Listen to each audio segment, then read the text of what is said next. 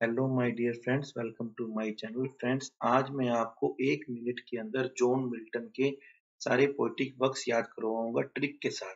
तो चलिए स्टार्ट करते हैं। सबसे पहले वर्क उन्होंने लिखा था ऑन शेक्सपियर इसके बाद आपको एक वर्ड याद करना है A P C L A for L'Allegro P for Penseroso C for Comus और सी एल फॉर लिसिडस इसके बाद उन्होंने लिखी थी पोएम्स जो इंग्लिश और लैटिन में लिखी थी। अब इतना कुछ लिखने के बाद वो हो गए अंधे, यानी कि उनका वर्क है ब्लाइंडनेस और इसके बाद में अंधे आदमी ने देखा मासिकर मासिकर यानी कि मारकाट, यानी कि उनका वर्क है ओन दी लेट मासिकर इन पिडामोन और ये सब देखने के बाद उनका पैराडाइज लोस्ट हो गया।